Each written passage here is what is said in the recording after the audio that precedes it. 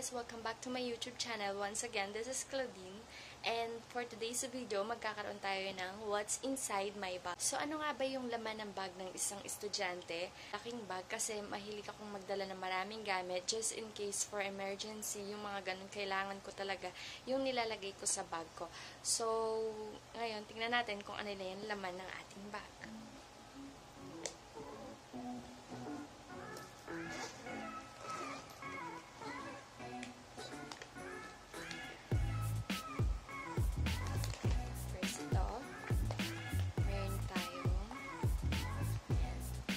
Nilalagay yung aking phone kasi uh, ayaw kong ilagay lang siya sa bag tapos maiipit siya kung saan nahihirapan akong maghanap.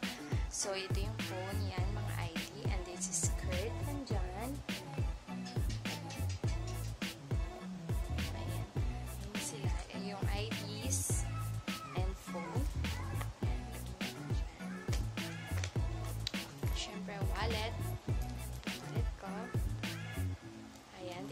My wallet. Sobrang liit lang niya kasi hindi, ayoko yung nagdadala ng sobrang laking wallet. And ganito lang. So, okay na.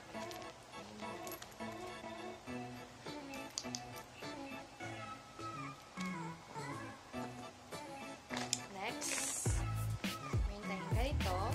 So, dito ko nilalagay yung aking charger and headset.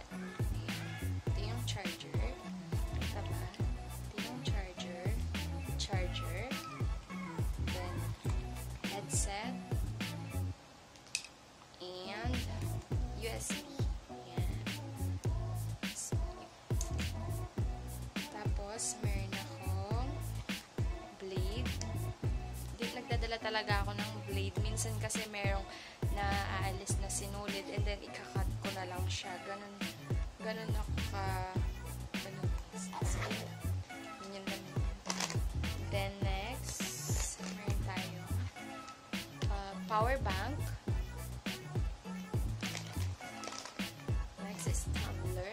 So, mahilig akong uminom, kaya lagi ako nagdadala ng tumbler. Hindi ko siya inaalis talaga sa bag ko kasi inom ako ng inom kahit saan ako nagpupunta. Next. Ito. Mga, ano lang to, emergency kit ko. Gusto ko lang talaga siya dinadala. Meron siyang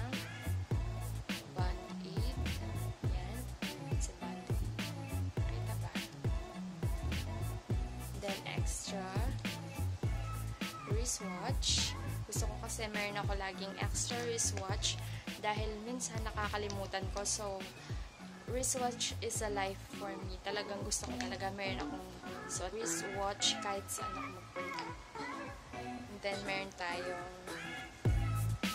extra ponytail.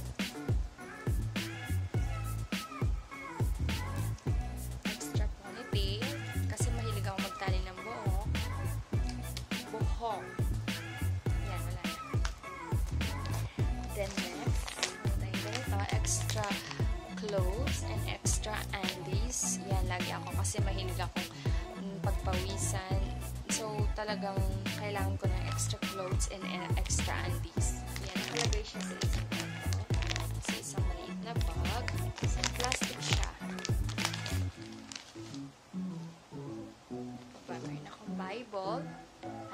Bible.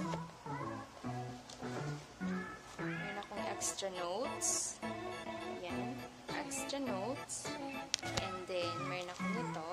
Dito ko sinusulat yung mga gusto kong bilhin at gusto kong gawin para hindi ko siya nakakalimutan. So, ito talaga, pinakakailangan ko talaga to. Next is ballpen case.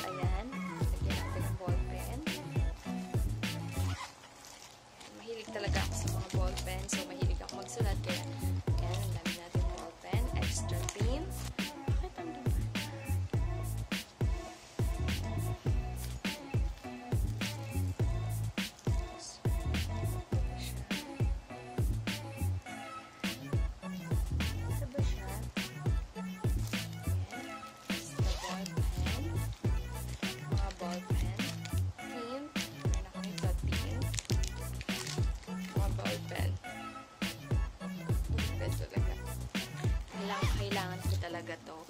Kasi ano, mahilig ako magsulat. And then, pag may naisip ako, idodrawing ko siya agad.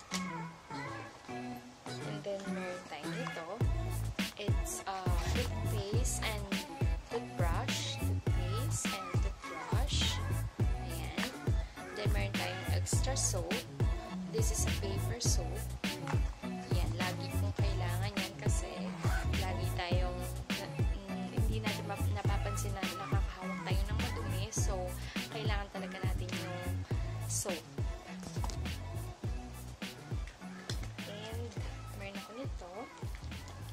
Talaga yung, ano, pinakalaman ng bag ko na nag, ah, ano siya ng malaking space. Kasi, ano, for example, meron kaming ah, bigla na report, so kailangan mag-ayos, so kail- ginagamit ko talaga siya.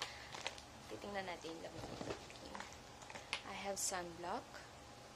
This is my sunblock. It's Skinfinite Sunblock Cream. Yan. In-order ko siya online. Maganda naman siya. Sobrang gustong gusto ko siya and affordable yung price niya. So, I've got this from Mylene. Sister Mylene, ayan. Maganda talaga siya. As in, tapos sobrang bango niya, bango din niya. Meron siyang powder scent. Ayun o, ganyan siya. Kita ba? Ah! Kita ba? Ayan, konting-konti na lang yung laman niya. Ayan. So, konting-konti. Ang bango-bango niya, meron siyang powder scent talaga. So, gustong-gusto ko talaga siya. Gustong-gusto ko talaga siya. Meron siyang amoy na nagtatagal yung amoy niya. Yan, next. Meron tayong ito. Foundation. As I said, hindi ako mahilig sa makeup, pero ginagamit ko lang sila pag merong ah, magre-report bigla or meron kaming gagawin na presentation. Ayan. This is a Mary Kay. Ayan. Tapos, meron tayong mga lip tint. Lip tint. Meron tayong eyeshadow. Ayan. Four.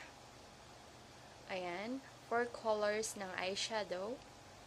Galing to ng China. Dala ni Mama from China. Oo. Galing siya ng China. So, bigay siya sa akin ni Mama. Konting-konti pa lang yung nagagamit ko noon. Meron tayong, syempre yan. Meron tayong lotion. Lotion. Extra sponge. Extra sponge. Meron din akong serum. Ayan. Gustong gusto ko to kasi sobrang tipid niya and ang ganda niya sa mukha. Yung talagang nakaka-fresh siya ng mukha. Ayan siya. Ganda, ganda. Ganyan na siya. Then, meron akong lip balm. Yan. Lip balm. This is a L'Oreal lip balm. Galing to sa Hong Kong. Bigay ni tita. Then, I have lip and cheek tint. From Watson's. It's Ever Bilena. Yes, it's Ever Bilena lip tint. And meron tayong eyeliner. It's Ever Bilena also. I bought this from Watson's. Meron tayong mascara. I have extra panty liner just in case lang. Then, meron tayong mga different kinds of lipstick. Yan. Ganyan lang sila. Ang bango nito, amoy chocolate siya. Na-try din nung kaibigan ko. Sabi niya, ang bango niya, it's, it, ano siya, ah, parang chocolate. Amoy na amoy siyang chocolate. And then this one is from Hong Kong. Bigay ng pinsan ko. Konting-konti na lang siya, pero ang ganda niya. Paboritong-paborito ko to. And this one is Maybelline.